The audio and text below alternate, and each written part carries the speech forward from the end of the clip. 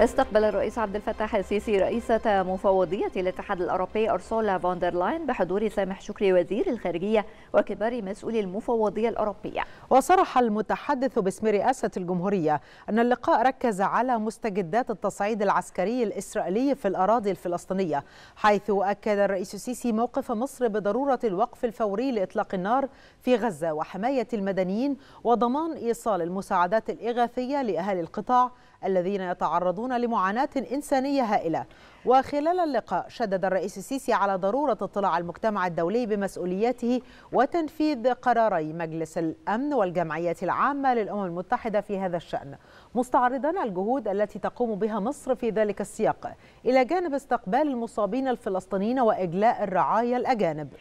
من جانبها عرضت رئيسة المفوضية الأوروبية تقييمها لتطورات الأوضاع في غزة وأكدت تقدير الاتحاد الأوروبي البالغ للدور الجوهري الذي تقوم به مصر في هذا الشأن. كما شدد الرئيس خلال اللقاء على رفض مصر القاطع لتهجير الفلسطينيين سواء بالنزوح داخليا أو بالتهجير خارج أراضيهم لا سيما إلى الأراضي المصرية في سيناء. وهو ما اتفقت معه رئيسة المفوضية الأوروبية مؤكدة الموقف الأوروبي برفض التهجير. كما أكد الجانبان أن الحل الوحيد للقضية الفلسطينية يكمن في تحقيق السلام الشامل والعادل على أساس حل الدولتين وفقا للمرجعيات الدولية المعتمدة.